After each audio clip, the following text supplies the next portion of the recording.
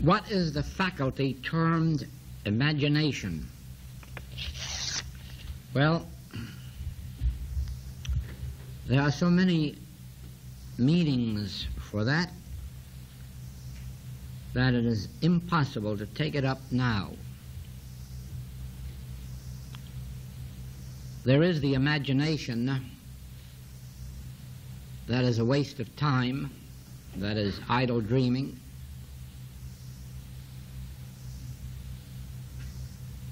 Conjuring up probably of improbabilities. But there is also the imagination uh, that permits one to see beyond that which is visible. There is also the imagination that can vision beyond even the possible.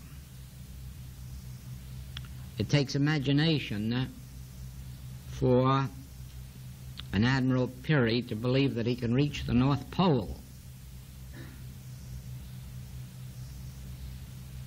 It isn't idle dreaming, but it is imagination because, according to human sense and human reason, this is in the realm of the impossible. There are other phases of imagination. Even to the extent of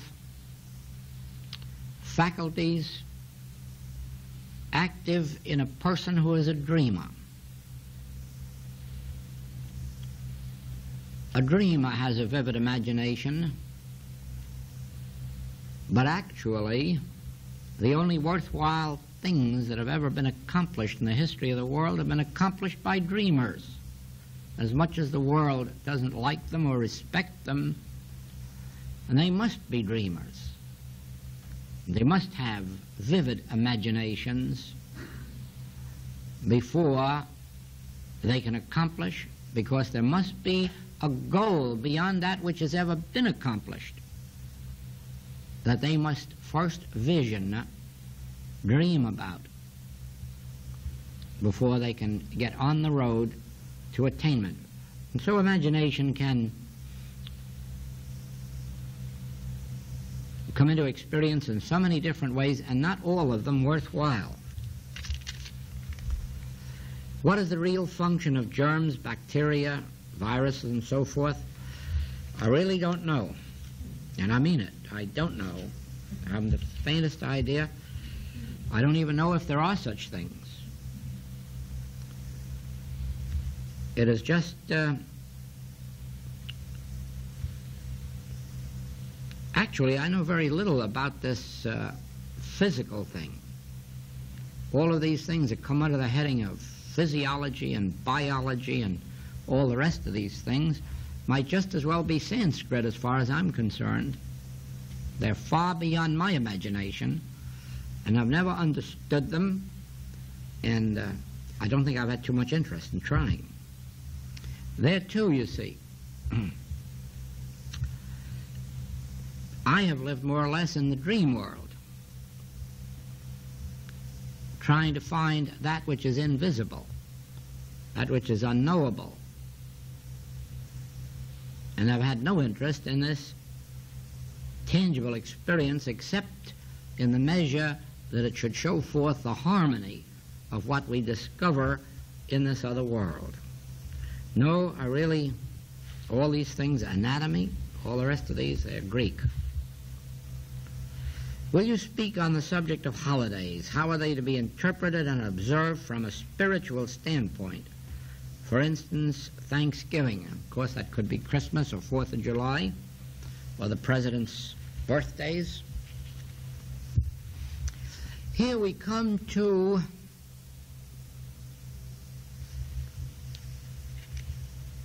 really a beautiful experience But it becomes necessary to accept what some of our friends would call duality.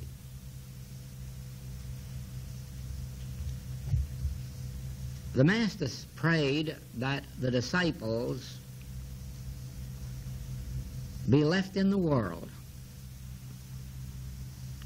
but not of it. And uh, as you know, right from the beginning, that has been my vision the Word made flesh.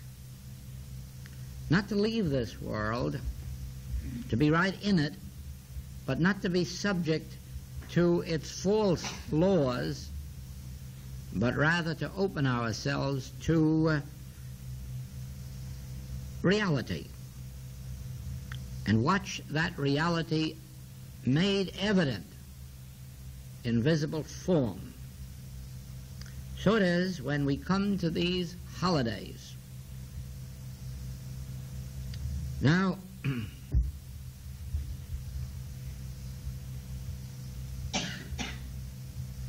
we realize, of course, that the origin of Thanksgiving was the fact that the pilgrims had come into this land of seeming lack and stress, and yet at this particular time had demonstrated their needs met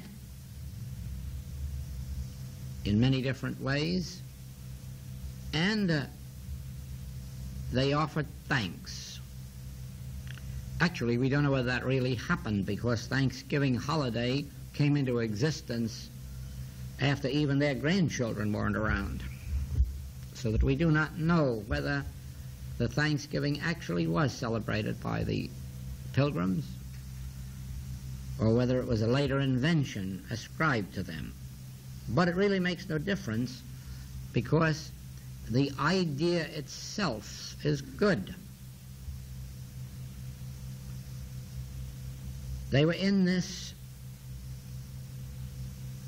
cold, barren country and surrounded by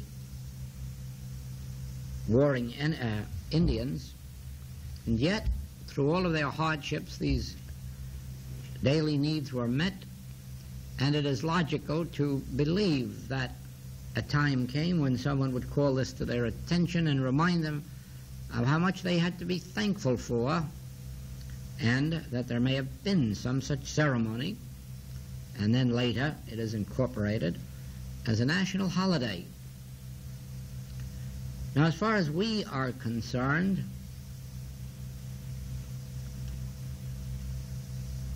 we have no feeling of emotion about the pilgrims and what they had or their thanksgiving. Therefore, the holiday for us today is only an opportunity for us to be reminded of the fact that we too have uh, much for which to be thankful. It is really an opportunity for a Sabbath day, a day of quiet, a day of peace, a day of reflection and uh, rejoicing. And on the human scale, nothing can be greater than a real observance of such a holiday. It is very much like the scriptural statements lean not unto thine own understanding, acknowledge him in all thy ways. And of course, such an occasion would be an acknowledging of God as the source of our good. Thou wilt keep him in perfect peace whose mind is stayed on thee. And here for a whole day we have this opportunity of pondering the infinite nature and the divine nature of that which is supplying this earth and all those that are in it. But this type of worship is a minor thing in comparison to the spiritual interpretation of uh, Thanksgiving. Firstly, because spiritually understood Thanksgiving cannot be confined to a day, a week, or a month. Thanksgiving is a state of consciousness, and it has to become a permanent sta- uh, uh, state. Now, until we, as spiritual students, realize that there cannot be such a thing as a minute of the day or the night when somewhere within us there isn't a thanksgiving, a giving of thanks, a recognition or acknowledgement of the spiritual source and activity of all being. I can't conceive of living long without the eyes hitting some form of beauty, some form of supply, some form of nature, some form of good, without it bringing up inside of one a deep sense of thanks that these things are so.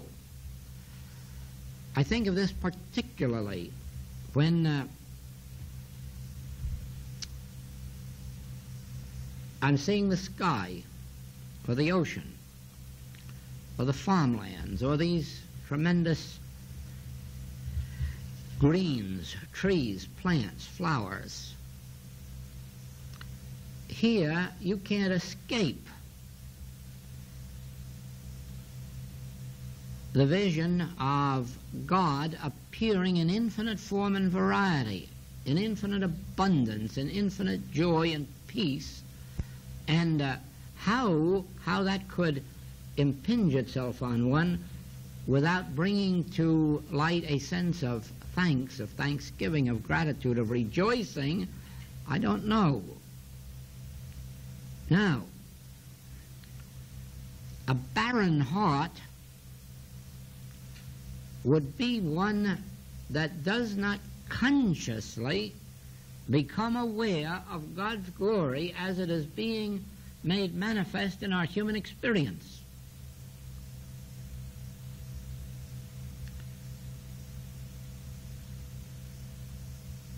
For the world, it is a most wonderful thing to have a day of thanksgiving because the world is barren. It is almost soulless. It doesn't observe these infinite beauties, these infinite harmonies, these infinite graces, the world as a world. It gets to where it takes them so for granted, and then more than likely believes some man is responsible for this, that, or the other thing, and uh, doesn't really bring to their inner awareness a feeling, an emotion of love, of gratitude, of joy. And so that day becomes a day, at least one out of the year, when something within may be stirred, and usually is by church services and newspaper and other programs, and it serves its purpose that particular day would have no meaning for a mystic. No meaning whatsoever. For the simple reason that it would be more like a sacrilege to name one day as a day of thanks, just as it is a sacrilege to have a Sabbath day in the week.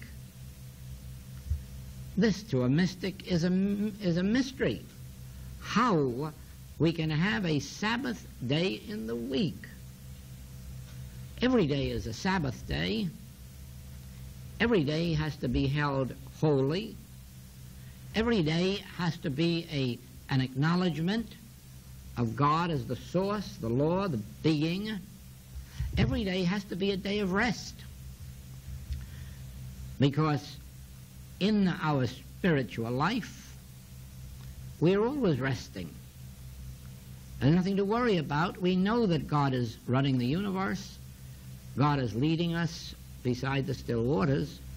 God makes us to lie down in green pastures.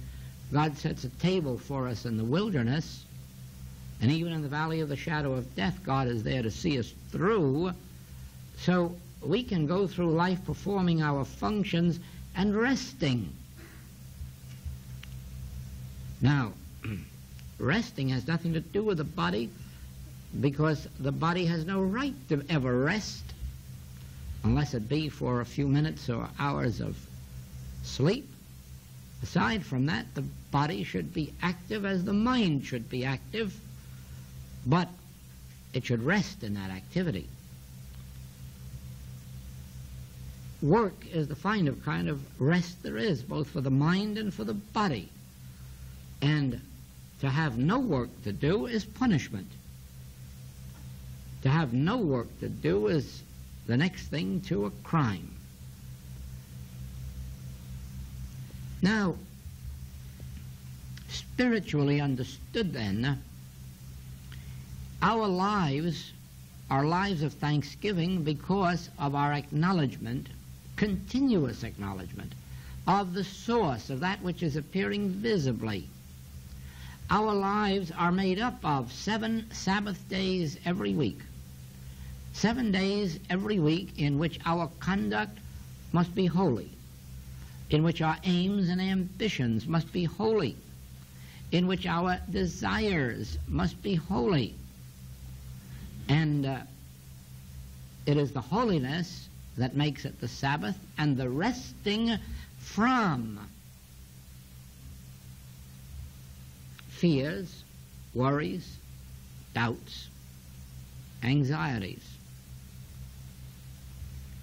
We can trace every holiday in the same way. Christmas Day, which, according to our human idea of holiday, is a reminder of the birth of the Christ.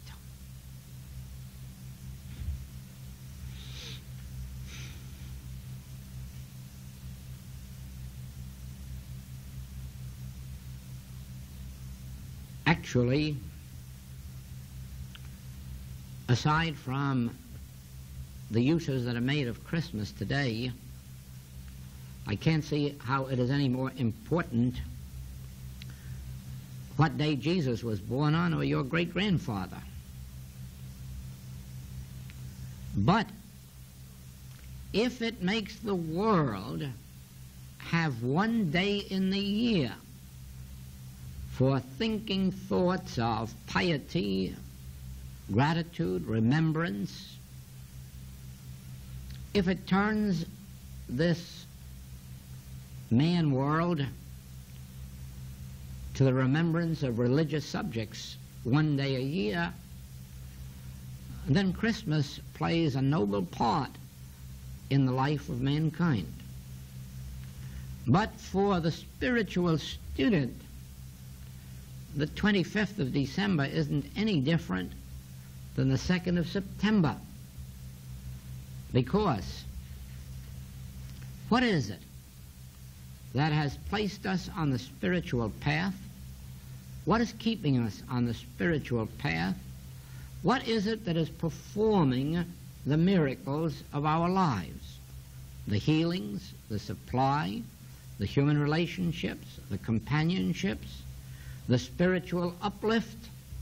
What is it if it isn't the Christ?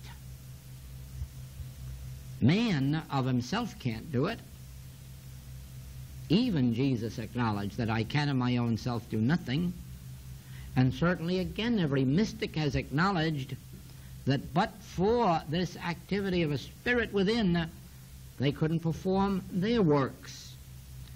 Well, certainly, every healer, practitioner, regardless of what their school may be, must certainly acknowledge that if it weren't for something transcendental something beyond the grasp of their mind or reason, they couldn't be healing. They couldn't be. And this isn't only true in spiritual healing, this is true in medical healing. I doubt very much if there is a medicine or an operation that will ever cure anyone separate and apart from the consciousness of the individual performing the work. It isn't really as funny as it sounds when you hear someone speak of a doctor's bedside manners, because what is implied is uh, that spirit of love, that spirit of confidence, that spirit of assurance, that spirit of dedication, without which I doubt very much that any medicine would be effective, because medicine in and of itself has no power. It has to be the consciousness of the individual behind it. And so it is, whether we are spiritually healing or somebody else is medically healing, it is an act of Christ. It is Christ in consciousness. Do you believe for a minute that there would be a dedicated life on earth? A life dedicated to anything if it was up to man whose breath is in his nostril? No. No. A dedication comes from the activity of the Christ, the activity of the presence of God in the consciousness of an individual, even if they do not recognize it. That is what is behind it.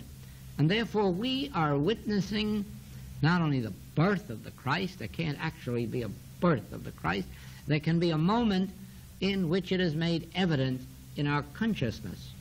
And for this reason, then, every day of the week is December 25th. To an individual who realizes that every act of good that is performed anywhere on earth, any act of service, unselfish service, dedication, is really not man, it is the activity of the Christ as it is expressed in individual consciousness. To the world, it is absolutely fitting that we have a day in the year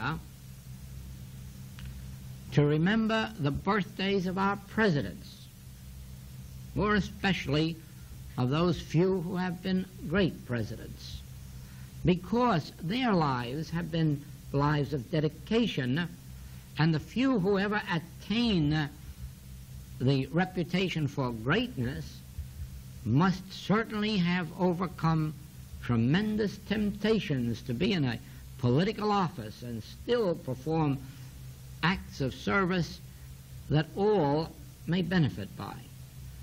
So, to remember the President's birthday again is merely to have a day of thankfulness for the dedicated lives of those men who have brought this country to its greatness. But they have the same thing in England. They celebrate the Queen's birthday. And the Queen's birthday isn't any more important than your birthday or mine.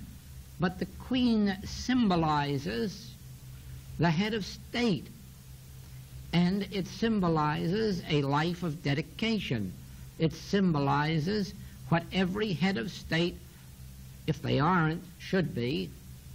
And therefore, in celebrating that, it merely gives the population of unthinkers an opportunity to have one day at least, at least to say thank you for a life of dedication. You know, on our trips over to England,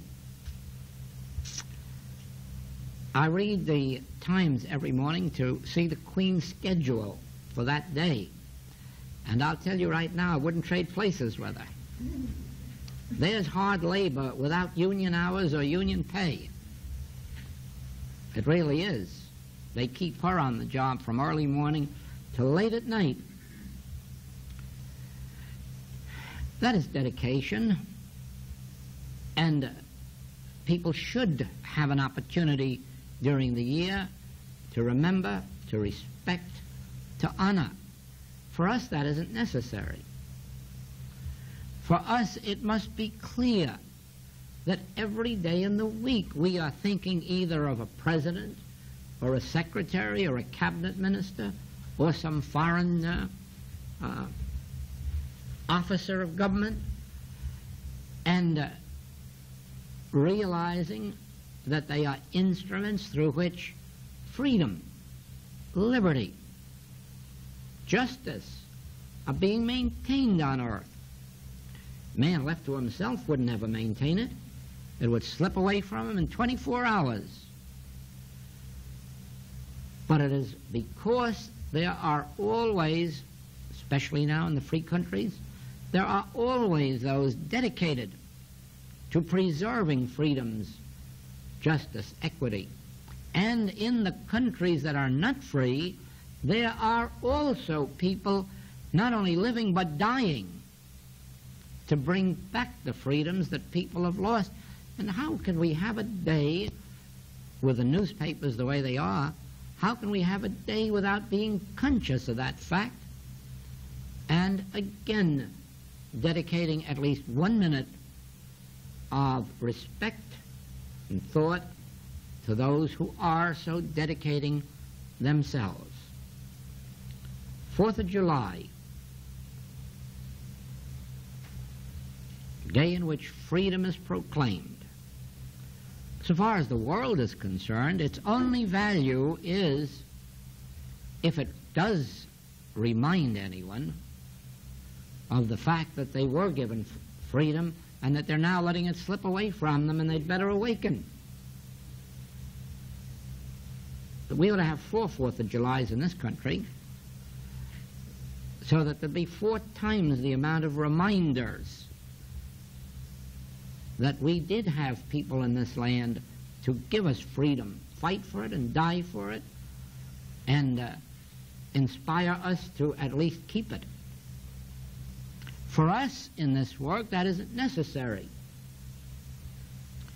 Every day of the week is a 4th of July because the greatest thing we have gained from our study is freedom, spiritual freedom. We have attained freedom from fears, freedom from most diseases, freedom from fear of death, we all know we're going to leave this plane one day. We know right well if there's a God, there must be a God there as well as a God here. There can't be a dividing line for infinity. And so it is then that the greatest quality, the greatest activity that ever comes into the experience of a spiritual student is freedom. We live free of theological domination, we're even free of the law. By obeying it, we stay more completely free, and we obey it more as spiritual students than would otherwise have been the case. We are free, even if it's only in a measure, of the fear of lack and of the experience of lack. Our entire work is attaining freedom. The whole mission of the Christ is to set us free. So therefore, we need no Fourth of July. Every day has to be Fourth of July in which we rejoice in our freedom and in which we remember how it is attained and how we can bestow it on those who come to us. What is it we do as practitioners or teachers when patients or students or learners come to us, what do we do since we don't know anatomy and physiology and biology? We don't know medicine and we don't know surgery. What do we do except set them free? We set them free from their physical worries. We set them free from economic worries. We set them free from theological worries. The greatest freedom that comes to a spiritual student is he knows he isn't going to go to hell. And he's the only one who knows it. All the rest of the world is looking forward with dread to that horrible experience of what it may be. But not the spiritual student. The spiritual student knows the only hell he can ever know is the one that he creates. And he can just as well have it here as hereafter, and he can just as well get free of it here as hereafter. Our entire work is bringing freedom to those who come to a message like this. And how then can uh, we wait for Fourth of July? Of course we don't. One thing we all learn in this work I don't believe that there is any walk of life at all where there is more gratitude, more love, more sharing, more honoring than in this work. None. I'm sure that there is no other endeavor on earth, no other phase or facet of society where so much gratitude and so much love and so much joy is expressed as in spiritual work. And why? Because really, the only thing anyone ever has to be thankful for is freedom. Nothing else is worthwhile without freedom. And with freedom, everything else is added. And therefore, freedom is really the whole of a spiritual activity. So it is, while we are in this world, like the disciples were, let us celebrate these holidays. And let us encourage the rest of the world to do likewise. Only for us, let us not limit it to those days, but remember that there are 365 days in the year, and every one of them is equal to each other. And therefore, each one has to include the 4th of July and the 25th of December, and uh, the last Thursday in Thanksgiving, and the President's birthdays, and our parents' birthdays, too. That's a pretty good day to celebrate. Yes. yes, I get thrills out of these holidays. I get thrills even in observing them as they are humanly observed, merely from the standpoint of remembering that even to those who ordinarily wouldn't be turning their thought to the higher message, this one day, in some degree, they all do. I'm all for holidays. I'm closing schools.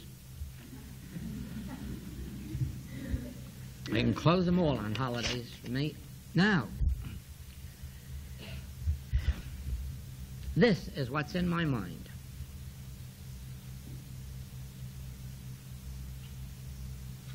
Don't let me do you a disservice,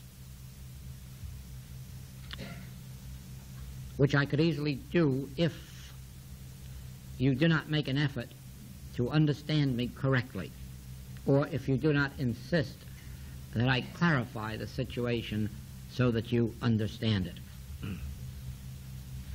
I have said to you that the ancients were absolutely right in setting up a devil or Satan.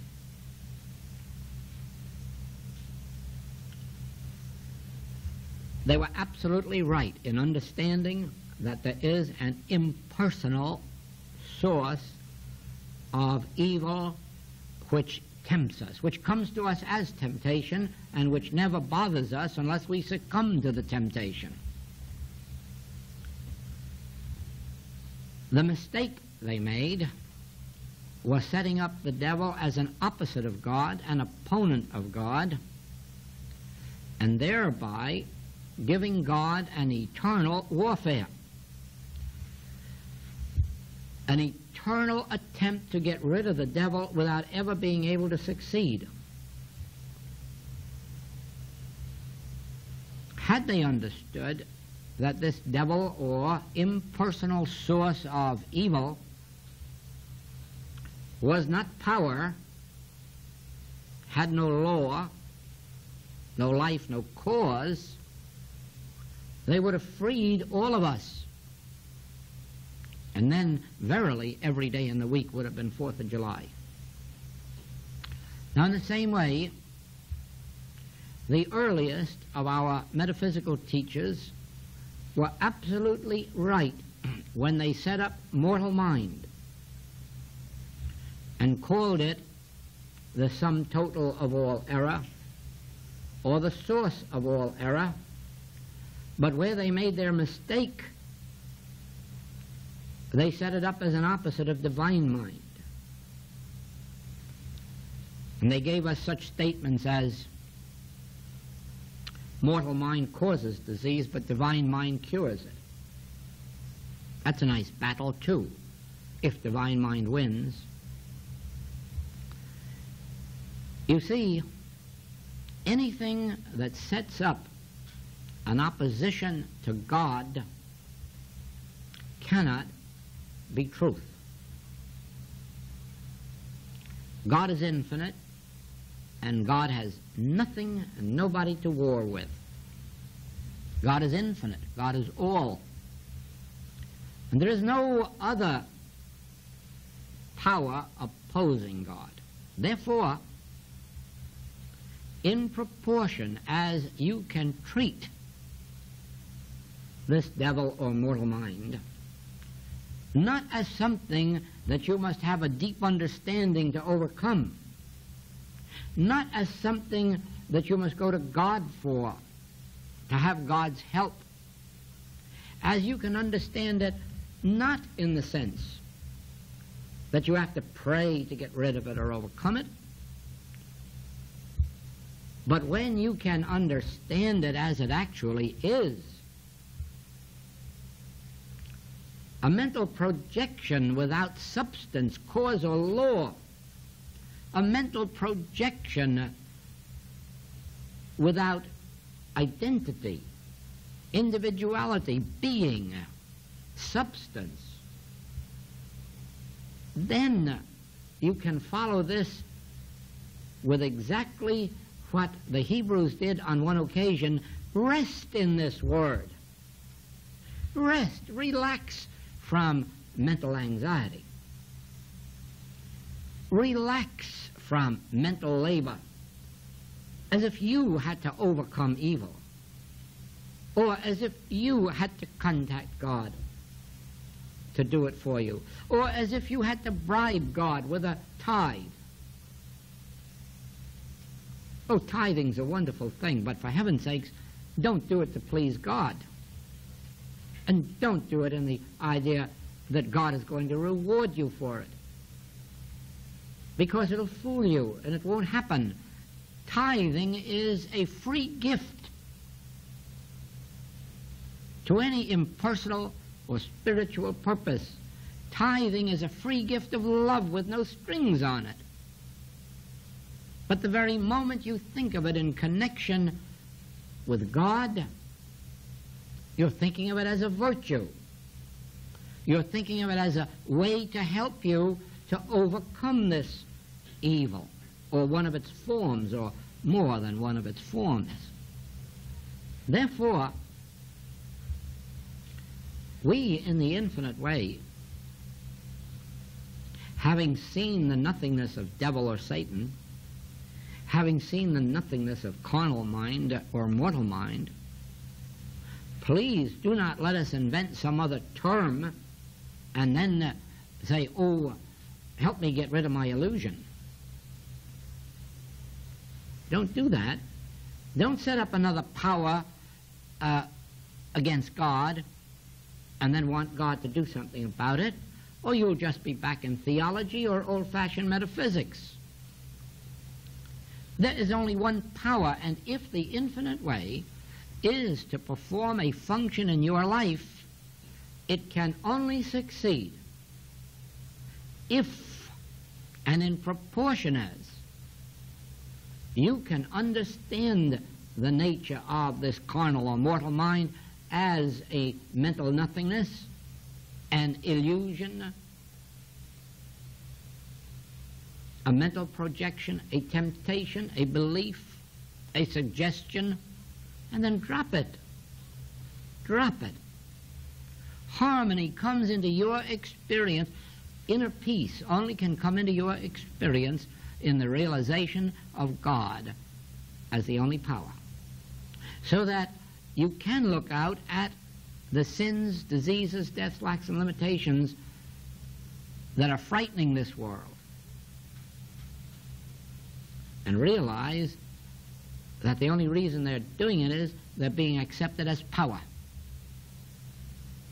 The only reason they're perpetuating themselves is that they are being feared and fought.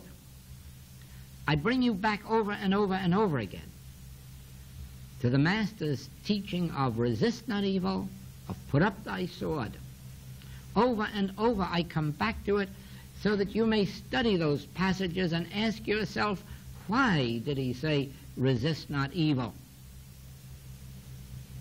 And you must come to the conclusion that if he could heal blindness with spittle, that evil isn't very much of a power. If he could make the lame walk merely by saying, What did hinder you? then lameness can't be a law.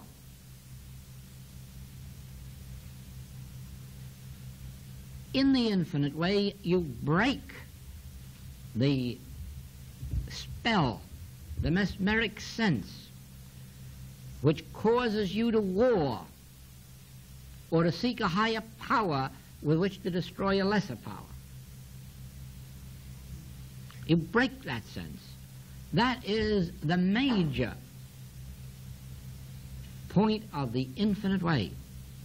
That we are not another method of having God do something for us, another system of a greater power destroying a lesser power, that we in this work have come to the realization of one power and of the illusory nature of everything that is presenting itself to us as power. This doesn't mean that in the, probably a whole human span that we will demonstrate this to its fullest extent. Probably not. There's no history of anyone ever having accomplished it in full, not even the Master. But it is the ultimate of our spiritual existence. It is the ultimate of our existence when we have transcended the cross, the tomb, the body that bleeds because a knife has been thrust into it. When we have ascended above that to the realization of our spiritual identity and our spiritual body, then we will have the opportunity of witnessing this in its fullness. Paul reminds us not to claim that we have attained the realization of this, the demonstration of this in its fullness. Let us be awfully thankful for whatever measure we have already seen, witnessed, and benefited by. Let us be grateful, at least we know the principle. And if our particular aeroplane is only flying 100 miles an hour and for only one hour, let us at least be grateful that since we know the principle, we can keep on working with it until our plane flies around the world at a thousand miles an hour. In other words, it makes no difference how small our demonstration is today. The tiniest demonstration is a proof of the principle. From then on, it is only the developing of our consciousness, the increasing of the depth and uh, the scope until we perform the greater works. And then someday, at the point of ascension, the greatest works. The main thing is not the degree of your demonstration,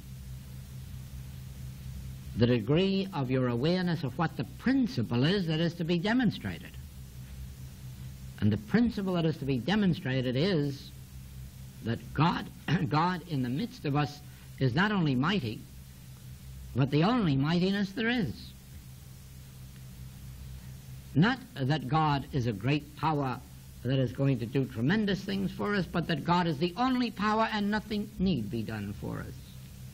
The realization of the greatest truth ever revealed, thou couldst have no power over me unless it came from God. What did hinder you? Pick up your bed and walk. As we abide in that principle, as we apply it to every facet and every phase of our human existence, we develop a greater consciousness of it and thereby a greater demonstration of it. Please, above all things, as you read these writings, and over and over and over again come to such statements as nature of error, carnal mind, mortal mind. Please don't be frightened by them as if they were something you had to overcome, but remember that they are terms for something you don't need to overcome. They are terms for that which is nothingness. And when you read them, have the same feeling about them that you would have about a soap bubble, a nothingness. Now, maybe it would be a good idea to change all those terms, carnal mind and mortal mind, into soap bubble. but anything that will make us lose our fear of the source of error will accomplish the purpose of the development of our spiritual consciousness and nothing else will. There is no way to attain spiritual consciousness while having two powers. For spiritual consciousness is the consciousness of one power. And that power of a spiritual nature, not material and not mental. Whatever it is, that trains us into an entirely new thought, a new state of consciousness, a new state of being, so that we can look upon all of the forms of evil, whether they're thrown at us under the guise of drug addiction, alcoholism, incurable diseases, and throw them back into the one word or one term carnal mind, mortal mind, arm of flesh, fleshly mind, and thereby lose all fear of them. Then you find you have attained a greater awareness of spiritual consciousness, a greater attainment of the consciousness itself. As you know, most of you have been confronted in one way or another, some time or another, with some friend who has said, I have a headache, and you've done a little work about it, and the headache disappeared.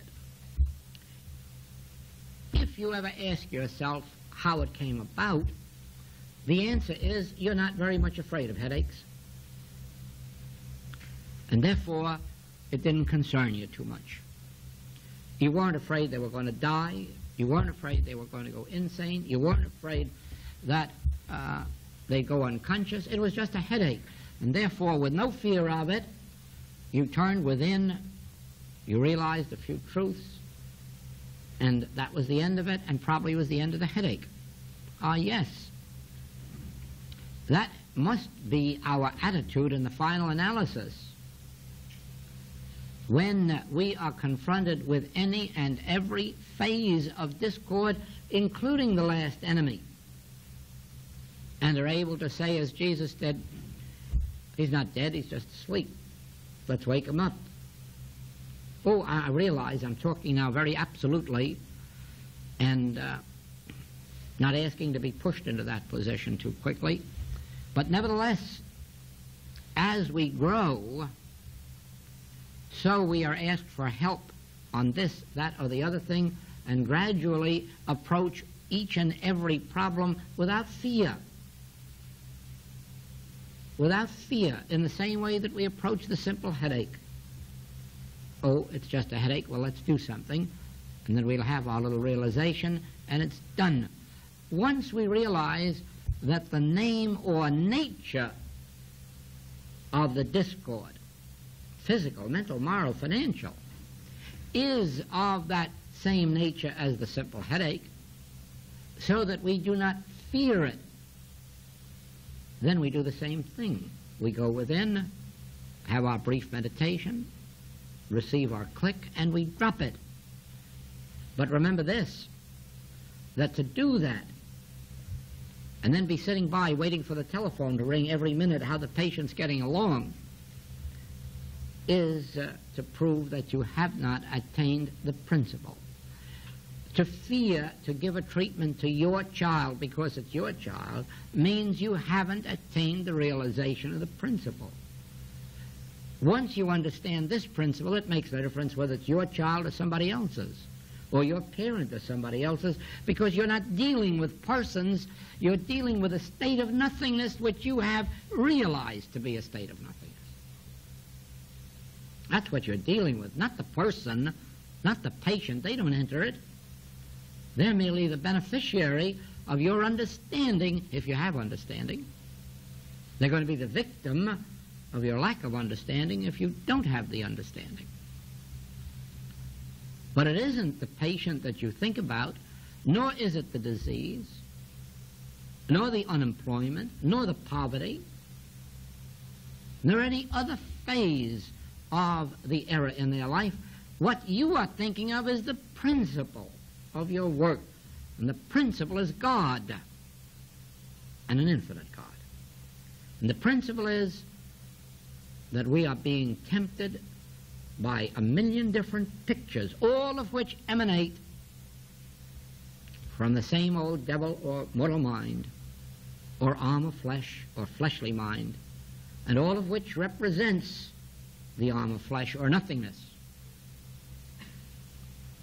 In proportion as you can face the claims that way, you can meet them.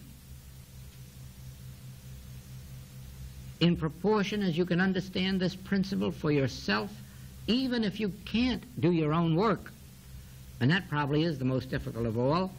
At least you make it easy for the practitioner to help you, as long as you aren't sitting around fearing that which you've already understood to be nothing more nor less than a mental imposition.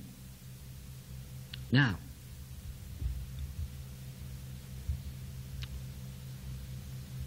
All of these mental impositions come through the human mind. And therefore, it is necessary to understand that this so-called mind of man, this mind that knows good and evil,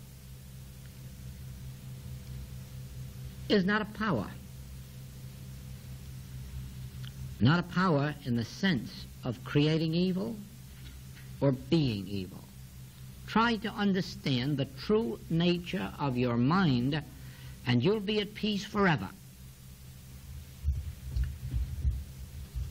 God gave us our mind as an instrument of awareness. With our mind, we become aware of that which is. We go to school and learn that two times two are four. We don't make it so with our mind. We merely learn through the mind that it is so. The mind is an instrument like the body is. In our present state of existence, I walk to the door and therefore I use my body and especially my feet and my limbs. If I give or receive, I use my hands. These are my instruments. But if I want to learn something, I use my mind. But I don't use my mind to create anything. Do you understand that? I don't make of my mind a creative power. I make of it a state of awareness. With my mind, I'm aware of your presence, but I can't, with my mind, make you present. That is one of the errors of metaphysics, that people believe that by mentalizing they can create patients and students and followers. That's a lot of nonsense. If you do it, you'll lose them sure in fate, because somebody else will probably do it with deeper concentration than you and take them away from you. You do not mentalize to get anything. Supply, transportation, health. Your mind wasn't given to you for that purpose. It was given to you as an instrument of awareness through which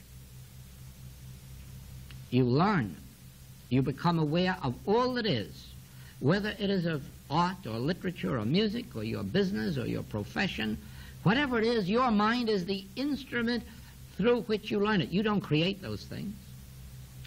You learn them. You don't create with the mind. But too many have been taught that thoughts are things, and therefore all you have to do is think a thought and get a thing. Don't do it. It's a dangerous practice. It can be done on some small scale, but it's dangerous.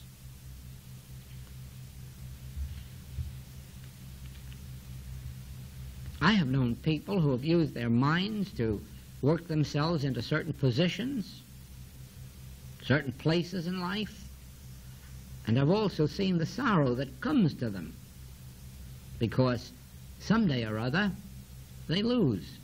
Someday or other a change comes. Someday or other somebody smarter or stronger comes into the picture and then they found that the house they've built crumbles. Now, we don't create anyone's health with our mind, but we can sit down in a listening attitude and become aware of the health that is omnipresent.